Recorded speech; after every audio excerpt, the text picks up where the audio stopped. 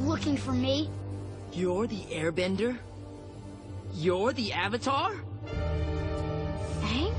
No way. I've spent years preparing for this encounter. Training. Meditating. You're just a child.